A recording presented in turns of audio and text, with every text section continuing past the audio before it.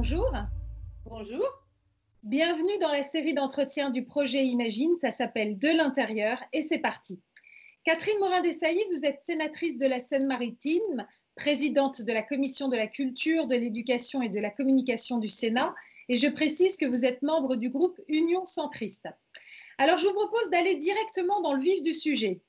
Depuis le début de cette crise sanitaire, sont fermés, reportés ou annulés les festivals, les cinémas, les librairies, les musées, les théâtres, les salles de concert, les opéras, le secteur de l'audiovisuel et celui de l'événementiel, sans oublier les forains et les circassiens.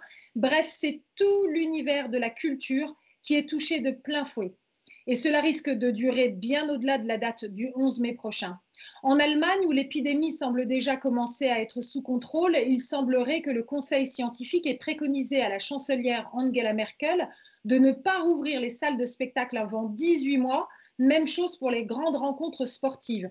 Si c'est cela, alors c'est une véritable déflagration qui se profile.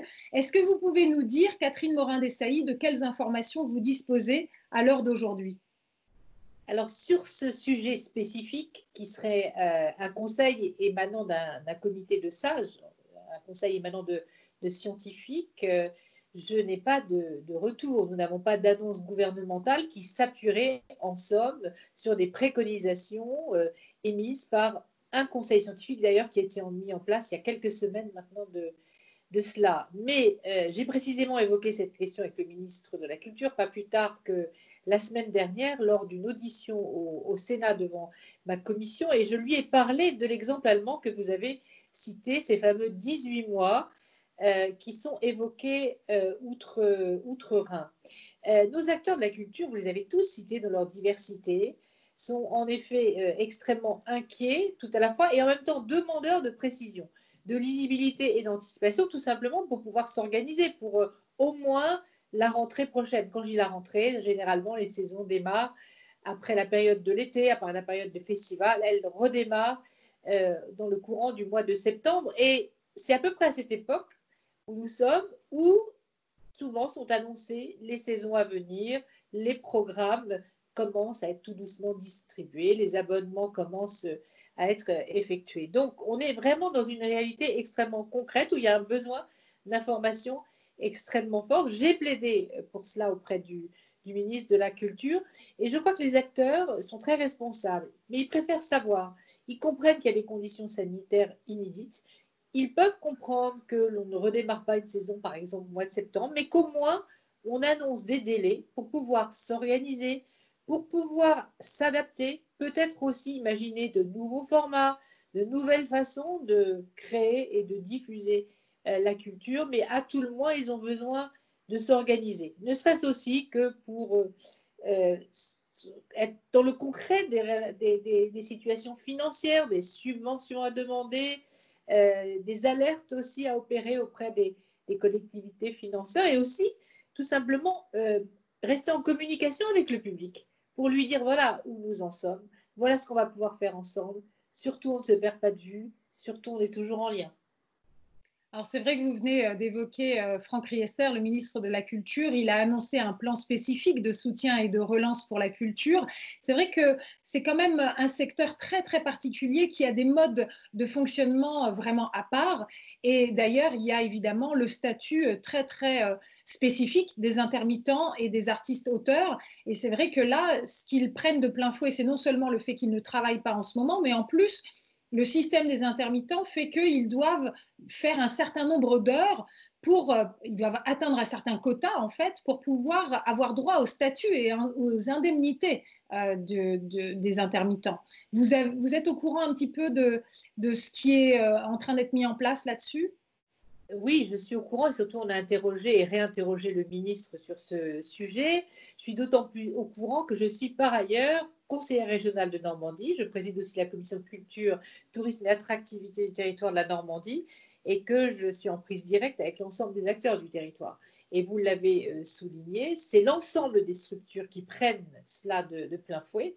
Alors il y a bien sûr les structures euh, pérennes, ce qu'on appelle les scènes nationales, les opéras, les orchestres installer euh, les pôles des arts du cirque, de la rue, et je ne cite pas euh, l'ensemble euh, du, secteur qui maille notre territoire. Il y a ces structures qui sont en quelque sorte des pôles ressources pour un, territoire de référence, mais il y a tout ce qui découle, tout ce qui fait l'écosystème autour, les artistes auxquels on passe commande, les compagnies qui travaillent pour telle ou telle scène, et l'ensemble du secteur est, touché. Et l'emploi dans son ensemble, dans sa diversité, l'emploi permanent, euh, au cœur des structures même, ce qu'on va appeler les, CDI, parfois aussi les, les, CDD, mais aussi et surtout les intermittents, ceux qui, en fait, exercent leur activité de manière, euh, non pas sectorielle, mais euh, de manière... Euh, Un côté saisonnier, en fait. Saisonnier, voilà, saisonnier, des contrats qui se succèdent au sein de différentes structures. Et en effet, ceux-ci sont, sont, touchés de, de, plein fouet. Mais c'est non seulement les commandes qui se sont annulées, les festivals qui se sont annulés, les, les, projets en cours, mais c'est aussi et surtout, j'ai envie de dire, euh, ce qu'il y aura à considérer dans le cadre d'un plan de relance. Là, on parle d'un plan d'urgence, comment on répond euh, voilà, aux situations d'annulation actuelles. Mais ce qui m'inquiète beaucoup plus profondément, si justement les lieux devraient ouvrir tardivement, c'est comment on relance la création. Comment euh, on a des nouveaux projets qui se mettent en place Quelles assurances ont ceux qui font travailler encore d'autres pour pouvoir lancer des, projets, quelle visibilité. Donc on voit que c'est un effet de domino, en fait, un effet de domino au cœur de la profession même, qui, il faut bien le préciser à ceux qui nous écoutent, euh, comporte des artistes, des créateurs, mais toute une série de métiers comme les, techniciens et toute une série aussi euh, de d'entreprises autour, les entreprises bah, liées aussi à l'économie du festival. Par exemple, ce sont les hôtels, les, restaurants, euh, les fournisseurs de services, bref, toute une série d'activités qui, par effet de domino, cette image est très parlante, bah, vont être touchées de, plein fouet. Donc, il y a à la fois l'urgence et il y a la relance. Alors, le ministre a annoncé un plan euh, d'urgence et aussi de, de relance. Les, grandes régions aussi, euh, comme la région Normandie d'ailleurs, se préoccupent de cela et ont déjà annoncé un fonds d'urgence et un fonds de, relance. Mais tout ce monde doit travailler ensemble. C'est-à-dire que je plaide, je l'ai plaidé devant le ministre, pour que le ministre travaille en articulation, en concertation avec les grandes collectivités, que ce soit région, département, ville et intercommunalité, parce qu'elle finance d'abord les deux tiers de la culture aujourd'hui, et notamment du secteur du spectacle euh, vivant dans toute sa diversité telle que vous l'avez évoqué. Donc il faut que tout le monde travaille ensemble pour que, j'aime cette, expression, même si c'est une expression à caractère sportif, en somme, il n'y ait pas de trou dans la raquette et qu'on se préoccupe de l'ensemble. Je vous propose de revenir plus en détail sur la question des festivals, un sujet que vous connaissez bien puisque vous êtes membre du groupe d'études Art de la scène, Art de la rue et Festivals en région. L'annulation des festivals a des conséquences immédiates, mais aussi à moyen et à long terme. Des grands festivals tels que le Festival d'Avignon, d'ailleurs, euh, on parle de 100 millions d'euros de pertes rien que pour ce festival. Hein. Donc le Festival d'Avignon, mais aussi le Festival de Cannes, ce sont aussi des marchés. Les programmateurs de spectacles ou de cinéma y font leurs achats. L'impact négatif sera donc de longue durée.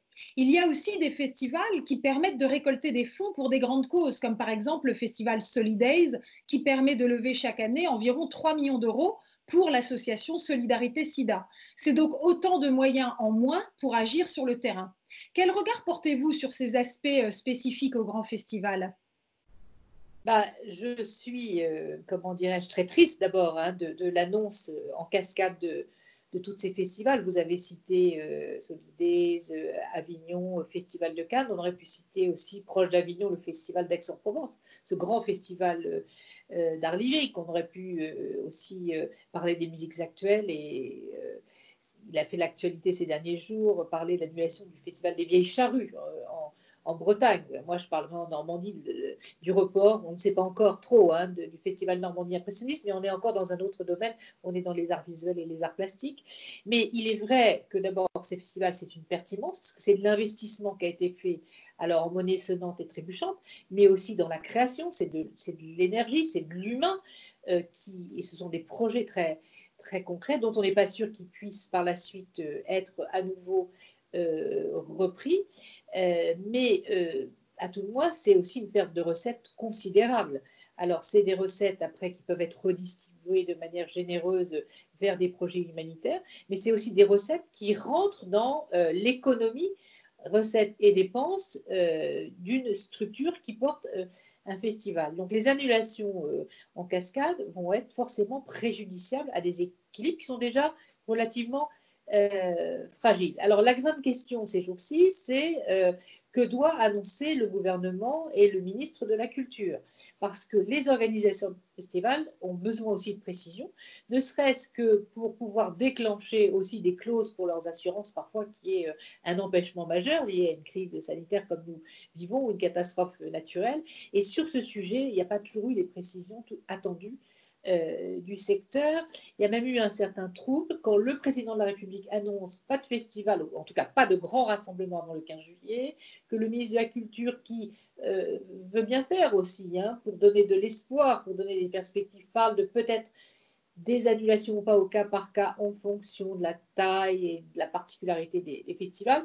Mais à tout le moins, les organisateurs, encore une fois, ont besoin de précision. Ils ont besoin de la même précision la même anticipation, somme toute, que les directeurs de, salles dont je parlais tout à l'heure, parce que ça s'anticipe. Ce sont des artistes, ce sont des contrats de session, euh, et euh, il faut pouvoir s'organiser. Donc, euh, je crois que chacun cherche à pouvoir être dans cette anticipation pour pouvoir à la fois rebondir, quitte à annuler, pour pouvoir se reprojeter peut-être un an plus tard, quelques mois plus tard. Mais en réalité, c'est aussi toute une économie et souvent autour des festivals, vous avez euh, une économie touristique. Euh, vous avez cité Avignon, on a cité Aix, je cite les Vieilles Charrues en, Bretagne, mais aussi le Festival de Cannes. Pour euh, ces villes, pour ces territoires, c'est une économie touristique qui n'est pas négligeable et qui aussi contribue aux recettes pour les collectivités territoriales qui elles-mêmes financent ces grands événements. Donc c'est un peu un serpent qui se mord la queue et on se trouve dans des problématiques quand même euh, particulières. Il va falloir pouvoir gérer euh, tout cela. Je pense bien sûr aussi aux artistes dans leur diversité, je pense euh, aux compagnies, je pense aux orchestres, tous ceux qui doivent donc annuler tous les projets en cours. C'est extrêmement compliqué, surtout s'il n'y a pas de perspective qui se redessine rapidement. C'est vrai, vous, euh, vous y avez fait allusion, c'est vrai qu'il y a un véritable tourisme des festivals et donc le, le, secteur touristique et toutes les régions en fait qui sont irriguées par tous ces événements euh, euh, qui sont voilà, ponctuels dans les saisons et qui font vivre finalement toutes nos régions. Et il faut quand même se rendre compte que le tourisme représente plus de 7% de la richesse du pays. Donc on est vraiment là encore une fois sur des effets en cascade qui sont terribles. J'ai entendu que certains festivals comme le Festival Solidays par exemple essayent d'encourager les gens qui ont déjà acheté leur ticket à peut-être ne pas euh, se précipiter pour demander le remboursement, ce qui serait une manière euh, de, les soutenir.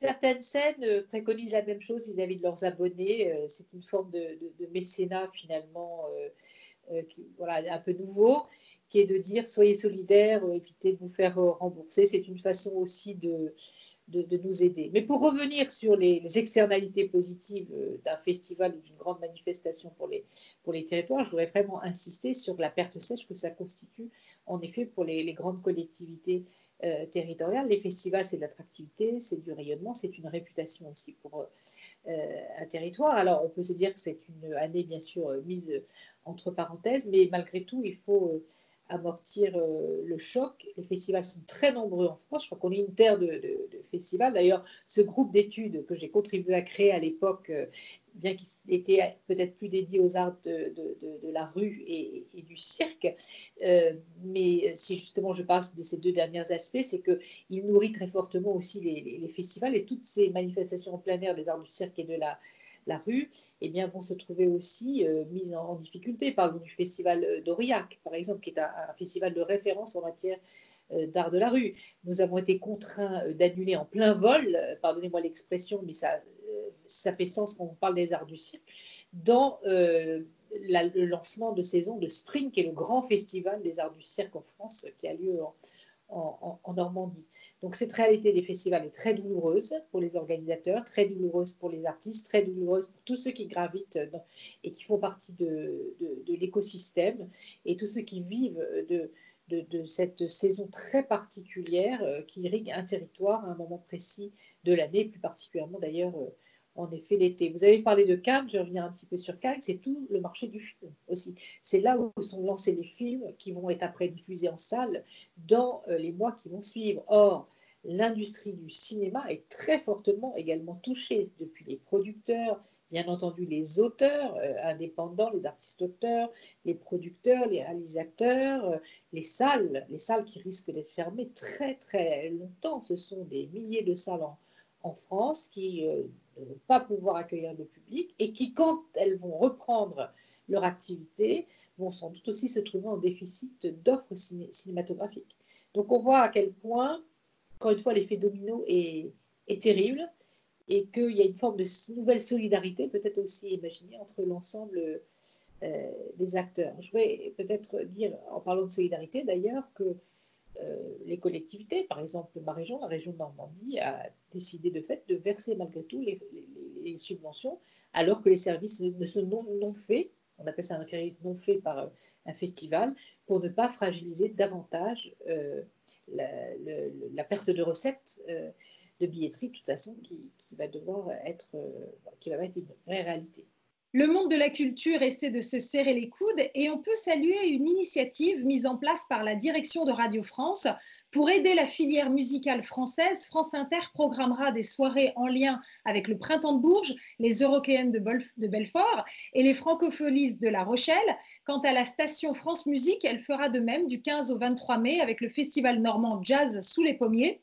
Une précision qui ne peut que vous toucher, vous qui êtes une élue de Normandie.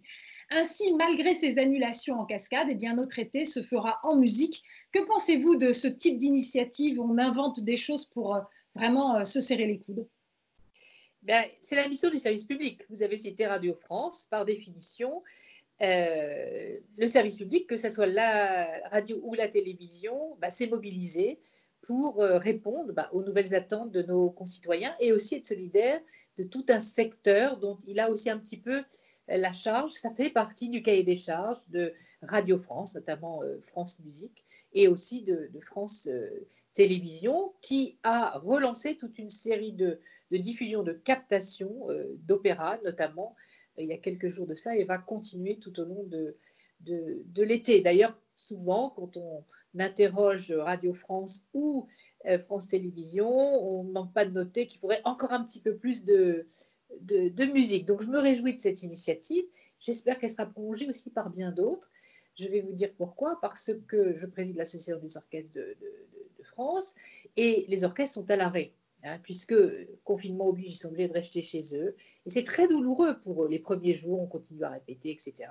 Mais ne plus jouer euh, avec ses pairs, c'est très douloureux de ne pas avoir la perspective de rencontrer les publics euh, tout autant, alors qu'on a un répertoire formidable à, à, jouer. Donc euh, j'espère que euh, France Musique va s'intéresser, au-delà de ses propres orchestres euh, maison, les orchestres de, Radio France, peut-être aux orchestres en région et leur permettre peut-être une programmation, en tout cas de rencontrer leur public différemment via les ondes. Il y a toute une série d'orchestres formidables en France qui méritent de continuer à être exposés d'une manière ou d'une autre. D'ailleurs, le directeur de l'Opéra de Normandie, qui est par ailleurs le président du syndicat des forces musicales, a aussi contacté euh, euh, le directeur de France Bleu, parce que France Bleu, c'est euh, la radio publique de Radio France de territoire, qui a des antennes France Bleu dans tous les territoires, pour voir s'il n'y aurait pas quelque chose à faire. Alors évidemment, c'est plutôt le rôle de France Musique, mais j'aimerais que ça puisse se réaliser, que ce soit l'occasion finalement de tisser davantage de liens entre communautés culturelles et de permettre bah, de valoriser ce qui se fait de formidable dans, dans la France entière. Voilà, donc euh, merci à, Radio France. Je, me suis exprimée euh, auprès de Sybelle Veil, la présidente, sur ce sujet. Et je trouve que là, l'audiovisuel public dans son ensemble, télévision et radio, eh bien, exerce pleinement sa mission. Sa mission, c'est à la fois informer, éduquer, distraire. Eh bien, on retrouve euh, l'ensemble de ces composantes dans cette démarche. On comprend en vous écoutant à quel point vous avez euh, de nombreuses casquettes, euh, Catherine Morin-Desailly, et c'est vrai que vous avez donc cette mission très particulière autour des orchestres. Si j'ai bien compris, d'ores et déjà, parce qu'il faut bien se projeter dans le futur, et essayer d'envisager toutes les éventualités, j'ai cru comprendre que vous étiez déjà en train d'étudier euh, des scénarios euh, pour faire en sorte que les orchestres puissent euh, jouer dans le futur, mais de façon espacée. Est-ce que c'est juste vraiment? Je n'ai pas cette prétention d'étudier quoi que ce soit. C'est aux professionnels aussi de réfléchir à, ces sujets. Mais nul doute qu'au sein de, l'association, les différents directeurs qui sont régulièrement en contact ne réfléchissent ensemble à de nouvelles modalités de diffusion de, la musique. Si le confinement venait à durer, mais aussi et surtout si la rouverture des salles était euh, finalement la dernière étape du, déconfinement, ce n'est pas du tout à écarter. Vous avez évoqué en commençant cette interview la position en Allemagne. Je crois qu'il faut être lucide. D'ailleurs, euh, euh, le, le, directeur de la Philharmonie annonce peut-être un début de saison plutôt en janvier 2021, euh, donc ça veut dire qu'on a encore un peu de temps devant nous. Et pendant ce temps-là, que font les, orchestres, nos forces vives? Il faut bien qu'ils puissent euh, garder ce lien avec le, public. Donc, il faut être créatif. Mais moi, je crois beaucoup en la créativité de tous nos acteurs euh, culturels, de tous ceux qui gravitent dans, ce secteur. On voit bien que finalement, le confinement a accéléré d'abord la digitalisation de notre monde avec l'émergence de nouveaux formats, euh, de nouvelles initiatives, euh, euh, tous ces orchestres aussi qui ont su jouer à distance, chacun chez, lui. L'autre jour, je regardais aussi les danseurs de l'Opéra de Paris, voilà, qui nous offraient une belle composition et qui dansaient ensemble. Chacun, chacun chez soi et tous ensemble en, même temps. C'était sur Roméo et Juliette de Prokofiev. Voilà, ça ne peut pas durer vraiment toute une vie, mais je pense qu'on peut essayer de trouver des, formats, en tout cas, pour garder ensemble le plaisir de jouer, de danser, de faire du théâtre et en même temps de rencontrer son public. C'est ça le sens aussi de la culture, c'est le lien au public. Alors, puisque je viens d'évoquer Radio France, euh, cela m'amène tout naturellement à parler de la fameuse réforme de l'audiovisuel public. Le texte de cette réforme très attendue devait être présenté aux députés le 30 mars dernier. La crise sanitaire a forcé le report, mais il s'agit d'une réforme de premier plan puisqu'elle est censée préparer l'avenir de tout le secteur en le dotant notamment de nouveaux outils qui permettraient de préserver sa souveraineté, notamment vis-à-vis -vis des plateformes étrangères comme Netflix, Apple ou Amazon. D'ores et déjà, il semblerait que la crise du coronavirus fasse bouger ces plateformes, puisque Netflix a annoncé la création d'un fonds de soutien d'urgence en faveur des artistes et techniciens intermittents du spectacle à hauteur de 1 million d'euros pour la France.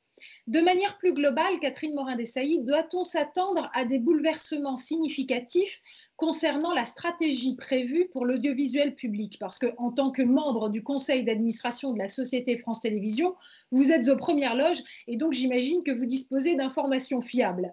Certes, mais euh, surtout euh, en tant que législateur, au Sénat, euh, ma commission voilà, suite de très près forcément cette réforme qui devra être débattue au sein de notre hémicycle. Donc j'y travaille de longue date avec mes, collègues. Je pense qu'on ne reviendra jamais au monde d'avant.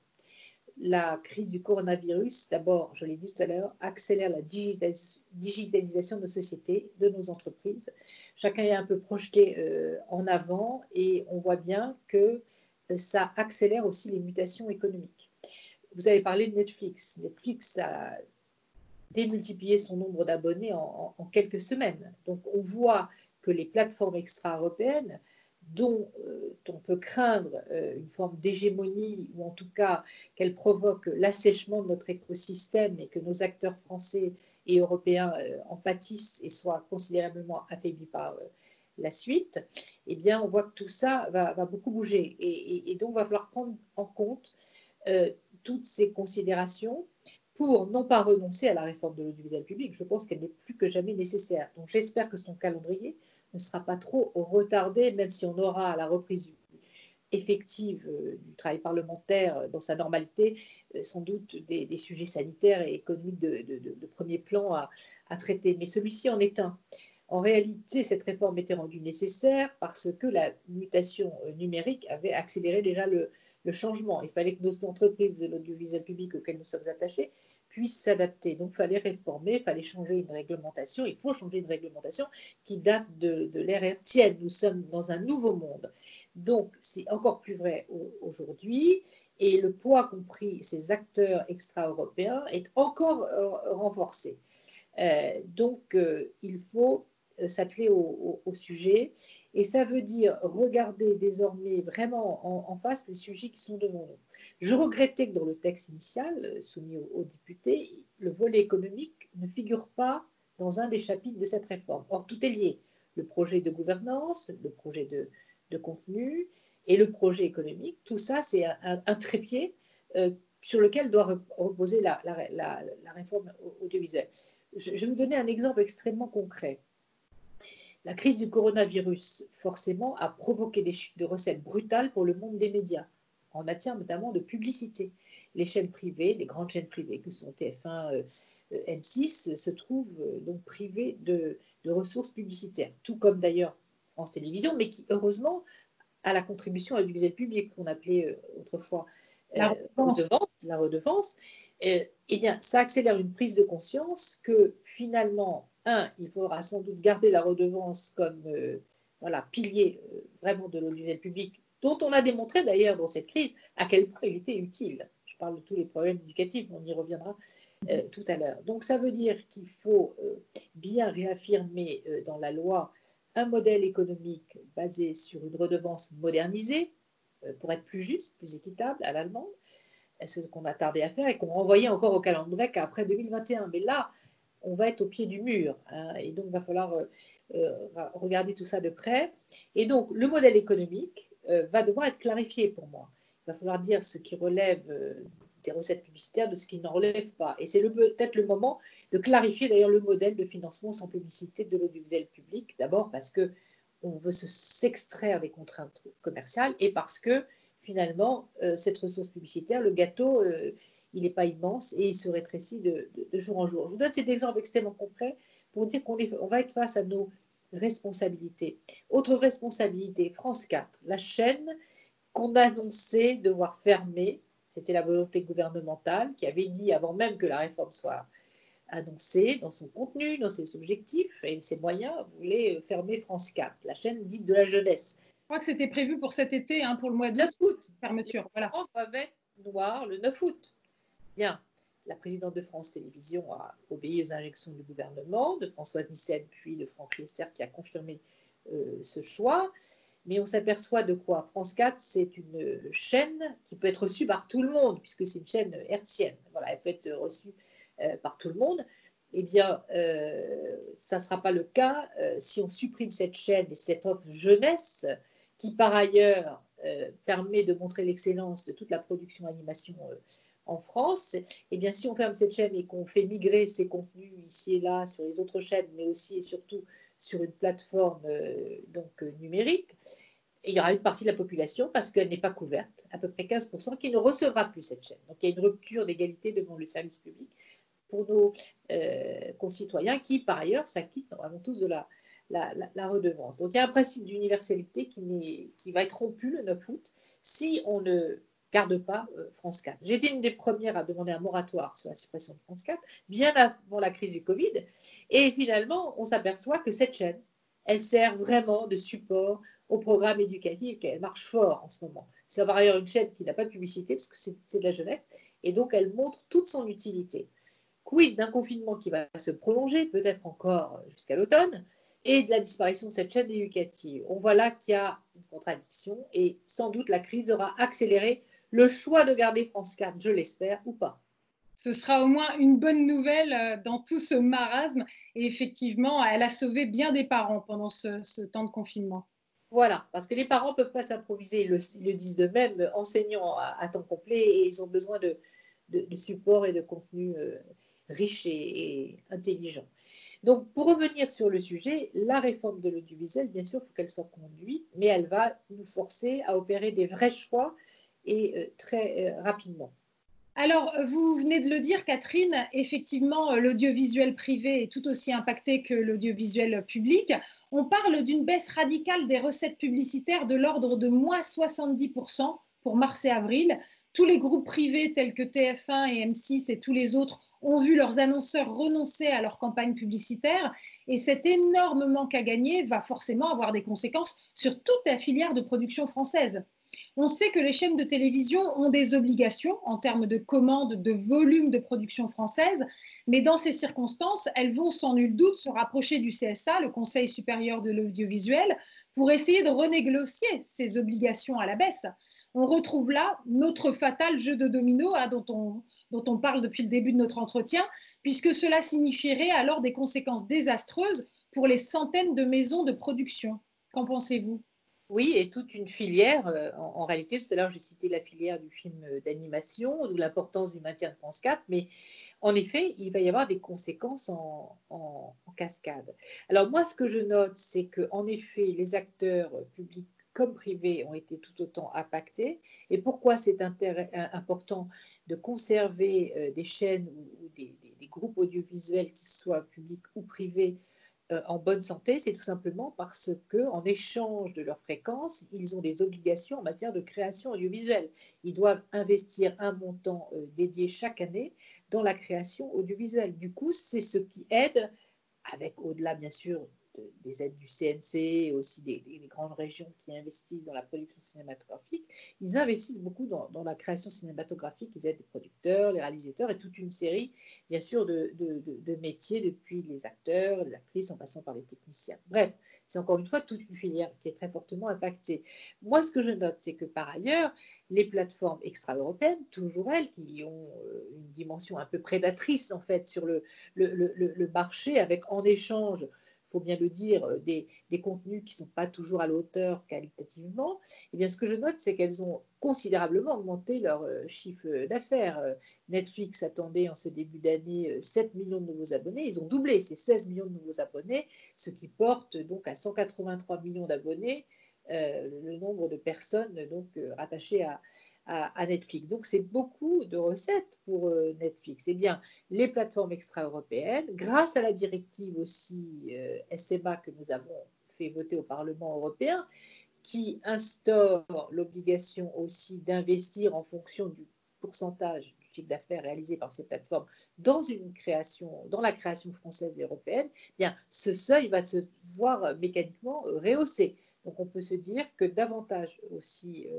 d'argent devrait être investi par, ces plateformes dans la création française et, européenne. Donc, au regard des masses financières qui bougent un peu, en effet, il faudrait qu'il y ait peut-être une réflexion au niveau du, CSA pour voir comment, dans les temps de reprise où il y aura des difficultés, forcément pour les groupes que vous avez cités, comment on, s'adapte et comment euh, eh bien, on fait porter aussi l'effort à ceux qui ont le plus bénéficié en réalité de la crise Covid-19. Parce que confiné à la maison, forcément, on a été amené aussi à consommer, entre guillemets, n'ai pas tellement l'expression, beaucoup de films, beaucoup de, beaucoup de séries, et on voit que Netflix en a bénéficié, mais parlons aussi de Disney, la nouvelle plateforme hein, qui s'est ouverte, c'est aussi euh, beaucoup, beaucoup d'argent qui est rentré dans, dans les caisses de Disney. Tout ça montre aussi une chose, c'est notre retard en matière de numérique. C'est-à-dire qu'on n'a pas de plateforme française et européenne digne de ce nom qui aurait pu rentrer en compétition sérieusement avec euh, des contenus autrement qualitatifs, autrement diversifiés en, matière d'offres euh, culturelles. Donc ça montre aussi qu'on a du retard. Voilà pourquoi la réforme de l'audiovisuel public et de l'audiovisuel en général, parce que cette réforme de l'audiovisuel, elle va aussi changer une forme de réglementation qui contraignait jusqu'à maintenant l'ensemble des, des, entreprises, qu'elles soient privées ou publiques, eh bien, il est urgent de la faire, cette réforme. Si vous le voulez bien, euh, Catherine Morin-Dessailly, on va se pencher maintenant euh, sur l'univers de la lecture. Avec la décision de fermer les librairies, un commerce de proximité euh, déjà très fragile, mais aussi les points de vente de presse, c'est toute la chaîne du livre qui se retrouve en grande difficulté. Alors j'englobe évidemment les éditeurs, les diffuseurs et aussi les auteurs, alors que pendant ce temps, eh c'est Amazon qui tire son épingle du jeu on peut deviner la frustration du monde de l'édition devant ce paradoxe d'un temps de confinement si propice à la lecture et qui finalement ne leur profite pas du tout. Qu'en pensez-vous? Eh oui, il y a un paradoxe. C'est le moment où on aurait le temps de lire, d'aller acheter des livres, de regarder des films, et c'est le moment où justement on ne peut plus aller ni dans les librairies, ni dans les cinémas. Donc il y a un vrai euh, sujet. Alors, quelques points de réflexion. C'est encore une fois l'ensemble de la filière euh, professionnelle qui est fortement impactée, que ce soit d'ailleurs le livre ou que ce soit euh, la presse. Il y a bien sûr l'édition, il y a les imprimeries dont on ne parle pas, parce que la presse, elle reste aussi parfois imprimée sous forme euh, papier. Elle concerne un électorat euh, bien sûr plus âgé, mais c'est encore une réalité.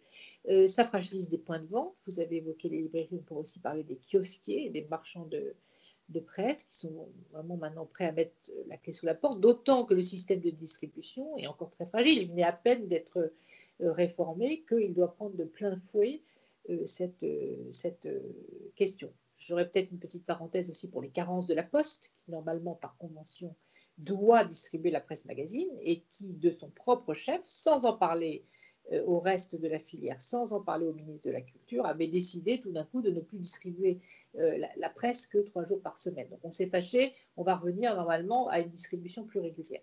Je ferme la parenthèse. Donc c'est tout un monde qui est euh, impacté, y compris les auteurs parce que les auteurs qui écrivent en anticipation, il faut aussi qu'ils aient l'assurance de pouvoir être euh, édités puis euh, imprimés. Donc si ces métiers sont à l'arrêt, vous voyez l'effet, euh, encore une fois, domino qui s'est installé. Alors, vous avez cité à nouveau les grandes plateformes, dont Amazon. Encore une fois, que montre la crise C'est que ça donne encore plus de poids à toutes ces plateformes prédatrices qui vont profiter de la situation, parce qu'elles ont su aussi se développer, pour euh, aspirer l'ensemble du marché. Alors en France, on a interdit, je pense que c'est plutôt une bonne mesure par souci d'équité avec les points de vente qui sont les librairies, euh, la vente à distance des livres via euh, Amazon, mais en même temps, ça souligne quoi? Ça souligne que le monde de la librairie française et européenne n'a peut-être pas su non plus s'adapter. C'est-à-dire que des plateformes à la française et à l'européenne, en tout cas des systèmes qui permettent aussi à nos librairies, tout en gardant leur activité physique et, matérielle, d'avoir des points de vente aussi euh, à distance via euh, le numérique, pour fournir euh, ces lecteurs. Alors, les libraires sont astucieux, j'en ai vu dans ma région du côté de Caen, qui organisent des, des drive-in de la lecture, c'est-à-dire qu'on passe commande à son libraire habituel et on va chercher son stock de livres en drive-in, comme on va au supermarché, pour récupérer les livres. Je trouve ça très astucieux et je trouve que le ministère de la Culture, le Centre national du livre, mais aussi les agences, les agences en région c'est les régions qui, bien sûr, accompagnent financièrement euh, celles-ci, eh bien, seraient bien inspirées d'accompagner, d'encourager ces solutions euh, innovantes. Voilà.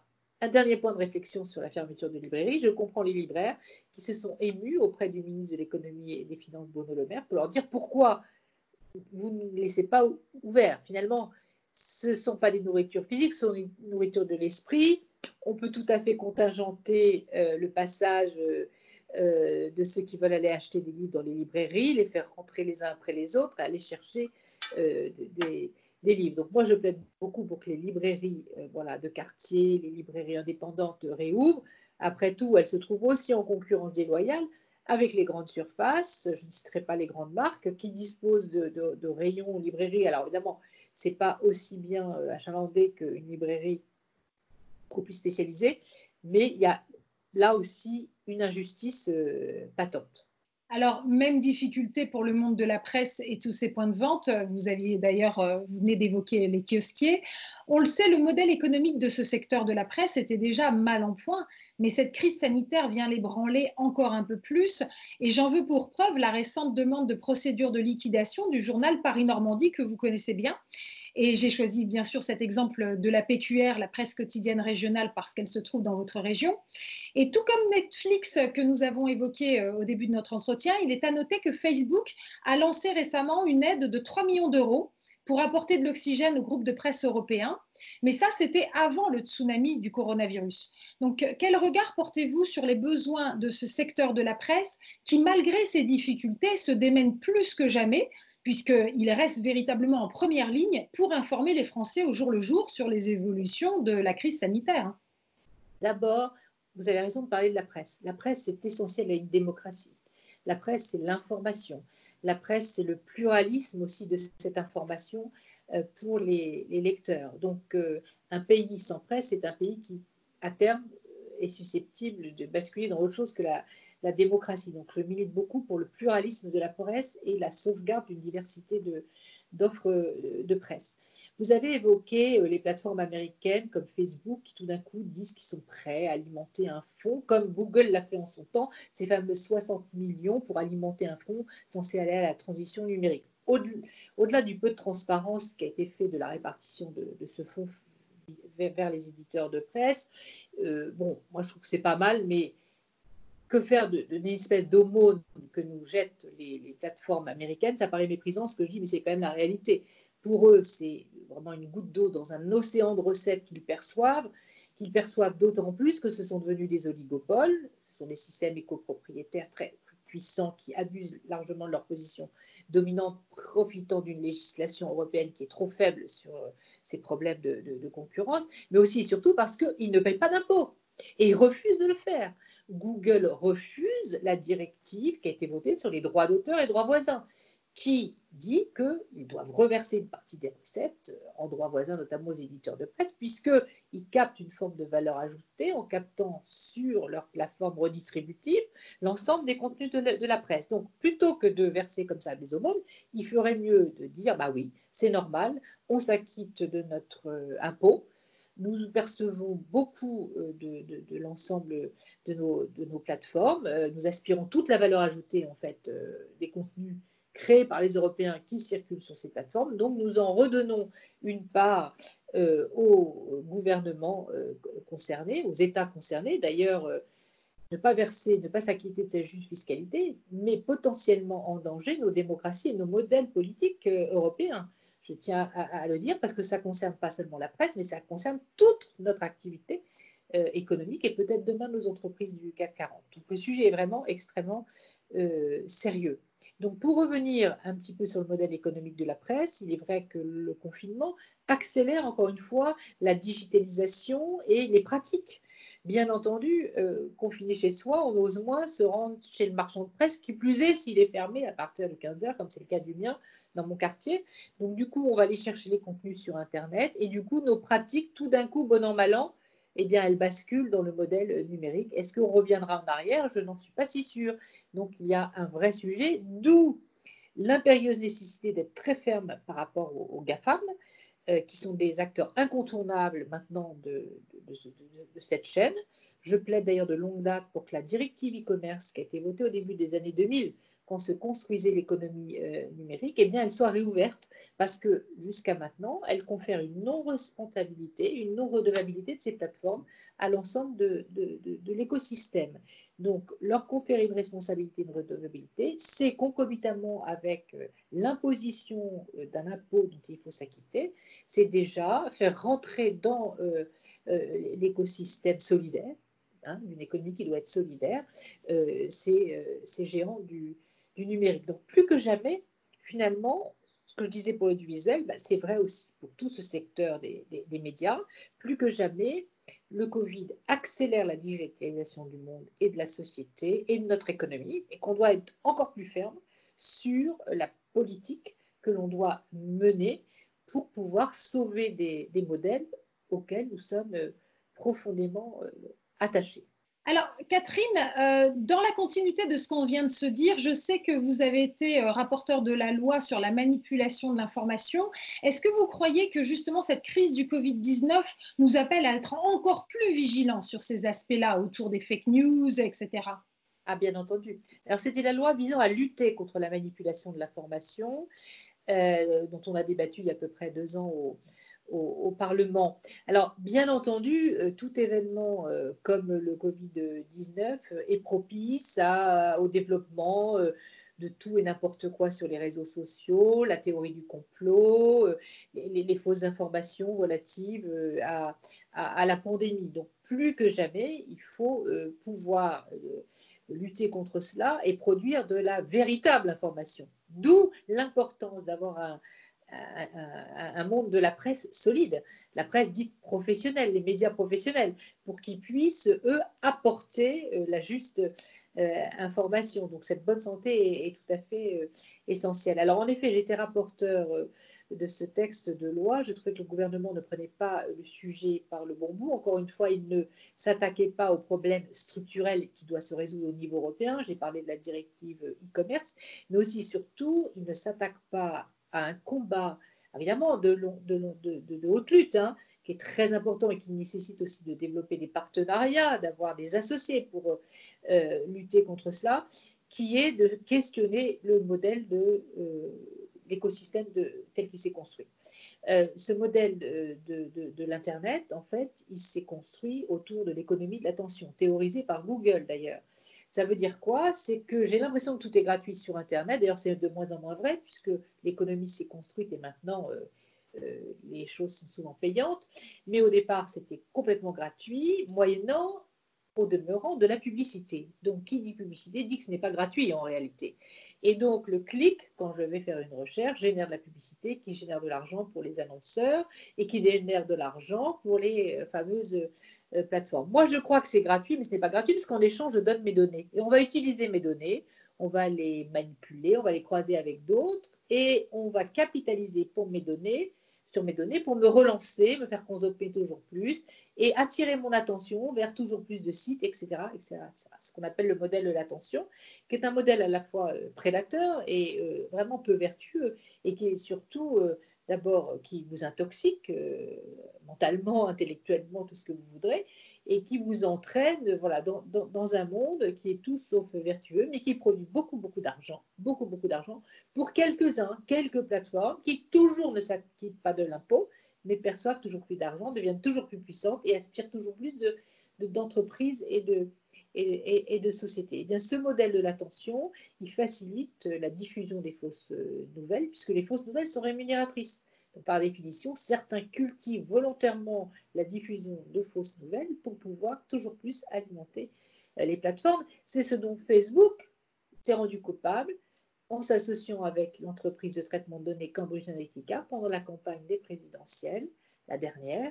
Et vous savez bien qu'il a été révélé que les failles de, Facebook euh, eh bien, euh, ont été utilisées par les Russes et qui ils ont manipulé à travers tout cela le scrutin des élections présidentielles américaines. Mais les élections européennes plus récentes ont aussi fait l'objet euh, de tentatives de manipulation euh, bah, et d'influence sur le vote des scrutins euh, en Europe. Le Brexit peut-être aussi, on peut se poser la question. Donc c'est un modèle prédateur, c'est un modèle toxique dont il faut sortir. Il va falloir réfléchir peut-être aussi à la faveur de ce Covid ça doit, ça doit être quoi le modèle de, de l'Internet, l'écosystème, si on veut que tout ça survive?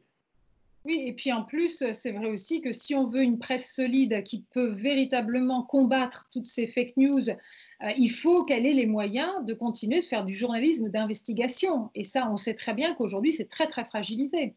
Bien entendu, parce que euh, ces entreprises sont fragilisées, elles ne perçoivent pas les, la juste rémunération de ce qu'elles devraient percevoir, puisqu'elles donnent, elles mettent à disposition sur euh, ces plateformes, elles mettent à disposition leur, leur, contenu. Elles sont pratiquement obligées de le faire parce que si elles ne le font pas, comme la totalité de notre recherche ou presse passe par un Google, bah, elles sont obligées de donner à Google News leurs articles. Mais la façon dont ces articles vont être exposés, on ne le sait pas, c'est par des algorithmes euh, opaques, mais elles peuvent être plus ou moins bien exposées, tel type de presse plutôt que tel autre, tel contenu plutôt que tel autre. Donc déjà, il y a là une rupture euh, en termes de pluralisme de l'information potentielle et surtout euh, d'exposition des, contenus qui n'est pas fait de manière aussi neutre que si j'allais chez mon kiosquier, j'achetais tous les journaux et je faisais une comparaison du traitement de l'information entre différents titres et différents journaux d'opinion. Donc il y a potentiellement aussi une manipulation de l'information. D'ailleurs, je rappelle que l'ancien PDG de, de Google, Eric Schmidt, avait prétention au démarrage de dire Google va gouverner l'information du monde. Alors, je vous propose de passer à un tout autre sujet, euh, Catherine Morin-Desailly. Face à la gravité de la crise, nombre d'artistes se posent des questions existentielles, se demandant à quoi ils peuvent bien servir. Certains ont l'impression que leur métier est futile, et puis d'autres essayent de trouver des idées pour participer à des efforts de solidarité. J'ai noté cet exemple d'une quarantaine d'artistes, pour la plupart des comédiens comme Elsa Zieberstein, qui se sont engagés comme bénévoles dans l'association Paris en compagnie et qui participent à des conversations téléphoniques avec des personnes âgées isolées. Donc vraiment des, choses toutes simples, euh, très chouettes. Alors, il y a d'autres actions solidaires qui revêtent un aspect plus politique. Je ne citerai qu'un exemple, celui du grand concert organisé par Lady Gaga le week-end du 18-19 avril, afin de récolter des fonds pour l'OMS, l'Organisation mondiale de la santé. Sachant que quelques jours auparavant, Donald Trump avait condamné très fermement la politique de l'OMS et avait annoncé que les États-Unis ne verseraient plus leurs contributions, privant par là même l'OMS d'un tiers de son budget annuel, cette mobilisation des artistes s'apparente alors à un mouvement de résistance. Résister, s'engager, ça a toujours été l'une des missions de l'art et de la culture, Catherine Morin-Desailly? Toujours. L'art est double. L'art, c'est à la fois l'héritage et le mouvement, c'est à la fois la transmission et la rupture, c'est aussi euh, la provocation, le, partage. Et moi, je note que de toute éternité, euh, les artistes ont quelque chose à dire sur le monde. Et là, dans cette période très particulière, eh bien, il y a un fort ressenti et il y a un, besoin de s'exprimer peut-être différemment. Et de manière plus générale, et ça, ça ne concerne pas que les artistes, on voit aussi que cette pandémie recrée de la solidarité, recrée le besoin d'être avec l'autre, euh, nous fait voir euh, les autres différemment, euh, nous fait prendre conscience bah, que parce que justement on est peut-être privé de ce contact physique dans nos relations humaines avec les autres, bah, on a vraiment besoin d'eux. Donc ça crée, euh, on voit une nouvelle solidarité dans les cages d'immeubles, on voit, euh, alors que ça ne s'est pas produit depuis très longtemps, bah, des voisins se remettent à reparler entre eux, s'entraider, se proposer voilà, des services, etc. Donc ça eu ce bienfait-là, redécouvrir l'autre et la valeur de la relation à l'autre. Et l'art fait partie de cela, puisque l'art, c'est la culture, c'est un pont entre les êtres humains, ça crée de la cohésion, ça crée du dialogue. Et donc que les artistes s'attachent aussi euh, dans cette période très particulière à vouloir euh, donner du sens euh, à ce qu'ils sont, à leur talent, me semble tout à fait naturel. Ils ne sont pas inutiles, les artistes. Ils ont quelque chose à dire et à, faire. Moi, j'ai été très émue de voir aussi certains artistes, chanteurs, compositeurs composer des chansons dont ils ont reversé l'entièreté des droits d'auteur euh, à la Fondation des hôpitaux de Paris, euh, faire ça pour les soignants, pour dire on est là à côté des, soignants. Euh, j'ai été émue de voir les danseurs de l'Opéra de Paris nous offrir ensemble voilà, un beau spectacle à distance de, tous ces, orchestres qui continuaient à jouer à travers l'Internet, qui, qui, reversent voilà, certaines sommes à des actions généreuses. Je trouve que ça fait partie en fait de, de, la prise de conscience aussi, euh, que l'art et la culture peuvent, en ces temps difficiles, nous mettre un peu du baume au cœur, créer du lien, euh, voilà, être une valeur, euh, une valeur ajoutée. Voilà. J'ai envie de dire quelque chose aussi un peu en conclusion, c'est que on a beaucoup parlé de numérique, de transition digitale, d'accélération des modes de, consommation de, la culture, de la lecture, de la presse, euh, etc. Moi, j'ai qu'un souhait, euh, c'est que j'ai hâte de me retrouver dans une salle de concert, dans une salle de théâtre, dans un festival ou dans une manifestation sportive, parce qu'il y a de fortes émotions aussi dans une manifestation sportive, pour me retrouver en direct avec mes pères, pour éprouver ensemble de, de l'émotion. Parce que rien rien ne remplace l'émotion et euh, le partage de, la culture euh, ensemble. Alors, si le numérique euh, a des bienfaits et permet l'émergence de nouvelles formes de partage, de nouvelles formes de, création, rien ne vaut malgré tout. Et je plaide pour que nous ne sombrions pas dans ce que j'appelle l'ébriété technologique, mais qu'on reste bien ancré sur cette terre, dans le réel, en lien physique avec euh, nos pères. Voilà, donc j'ai hâte de cela. Merci pour ce beau plaidoyer. C'est vrai qu'on a besoin de commun et puis je pense véritablement que les artistes nous permettent de nous rappeler à la beauté du monde. Or, il va falloir qu'on sorte de cette crise par le haut et pour cela, eh bien, sans doute que l'art, la culture euh, peuvent vraiment nous permettre euh, de, rassembler nos énergies dans le bon sens. Avant de clore cet entretien, juste une petite question subsidiaire. Il y a quelques jours, le chanteur Christophe nous a quittés Étiez-vous fan de l'interprète des mots bleus, celui que Bachoum surnommait affectueusement le gitan blond J'étais fan surtout de la période des années 60. parce que j'étais une toute petite fille et sans doute c'est ma découverte à, à la musique. C'est toute une période voilà, de, de, ma vie et j'adore elles sont téléchargées d'ailleurs voilà, sur mes outils numériques. J'adore forcément Aline, le mythique Aline, les marionnettes, bref, toute une série de chansons de, cette époque.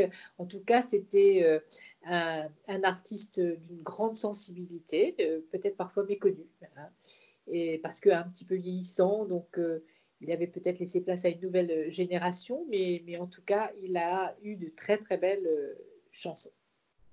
Merci infiniment d'avoir accepté de répondre à mes questions. Bon courage pour vos nombreuses missions. C'était de l'intérieur avec Catherine Morin-Dessailly. Merci encore, Catherine. Merci, Frédéric.